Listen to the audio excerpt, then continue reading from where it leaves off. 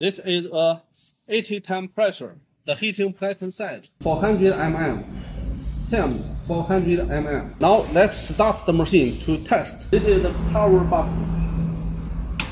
Power switch, power on. This is the control panel. This is the electric relay control. Now let's close the mold. Close the machine. Just press this button. The mold closed. When it gets to the set time, the machine will open automatically. This is the pressure. Now we set 17 ampere. When we press open mold, the machine will open. When gear touch, the machine stop. Here, it's adjust vulcanizing time. This one and this one.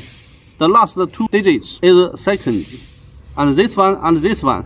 The first two digits, they are minutes. When we want to add minutes, press this one. Now it's 10 minutes 33 seconds. Now let's start the machine. Go the mold and pressure. When it get to the set pressure, the machine will stop. When it get to the set time, the machine open automatically. When it touch here, it will auto stop. Stop.